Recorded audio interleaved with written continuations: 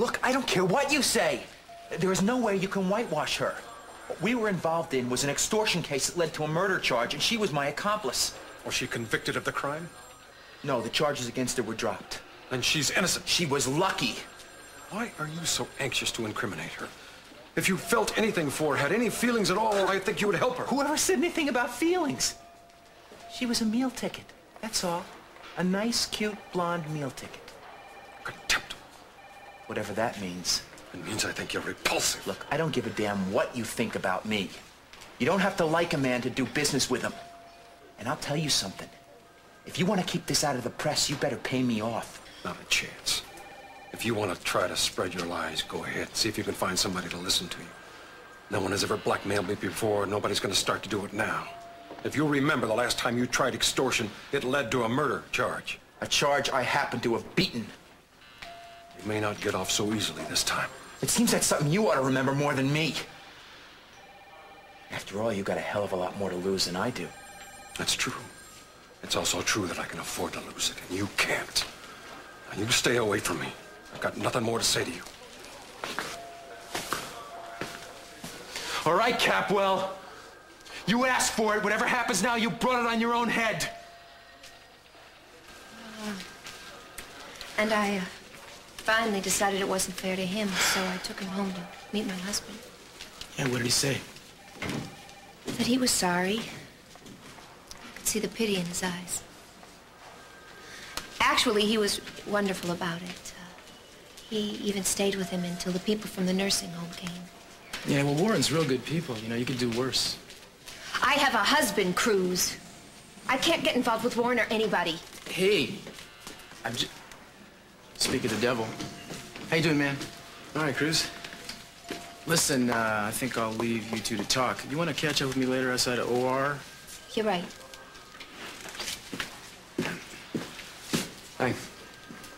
Hi. Uh, was everything okay?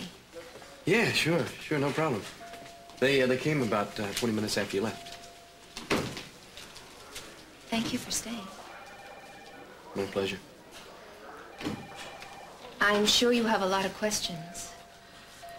No, no, none right now, not about this. Well, uh, I could have sworn that's why you were here. No, actually, I'm, I'm here to, to strictly cover a story. One of the cops outside said you were the officer in charge. May I ask you a few questions about Gina DeMott? Uh, my question first. How come you get all the big stories? Because I own the paper and I assign them to myself. Yeah, that's called nepotism. So who cares? Maybe one of them will bring me a Pulitzer. No, seriously now, about Gina. Ah, well, there's not that much I can tell you. I don't even know all the details yet. Uh, Mrs. DeMott's in surgery because there's pressure on her brain. They don't know what her chances are or uh, how long it'll take. Any idea how the accident happened? Not yet. Hank Judson's running around here somewhere claiming that she tried to kill him, missed him, and crashed. Oh, that's interesting. That's what I call a borderline scandal. Yeah, funny to me, it just sounds a little far-fetched. Yeah, well, either way, it doesn't sound very much like Gina, does it? Yeah, that's right. You know her. You knew her sister. I forgot about Summer Blake. Hmm. Well, that's all I know. I wish I could tell you more. Yeah.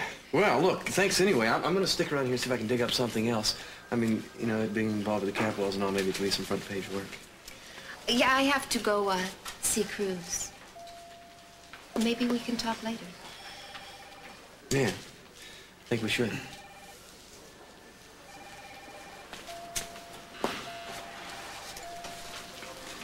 Hey, Jimmy Olsen, looking for a story? Truce. I got a good story for you. A real winner. Oh, yeah? What about? Gina DeMott. Some trouble she was in seven or eight years ago. Yeah, well, now, hold on now. We don't print stories like that. You'd be crazy if you don't. It's real juicy. Send old C.C. Capwell to an early grave. Look, I said forget it, okay? Okay. Okay, pal, but you don't know what you're missing out on.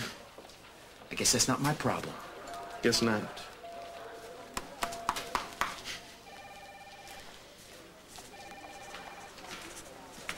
Warren, I overheard you refuse to print his gossip. I want you to know that I appreciate that.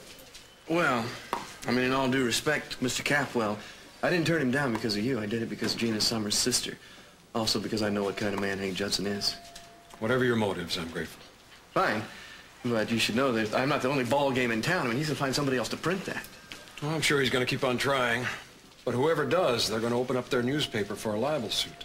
He may find that he uh, is having a little less luck than he thinks. You know, I don't think I'm gonna like stories like this very much at all. Why is that? Tough to find any good guys.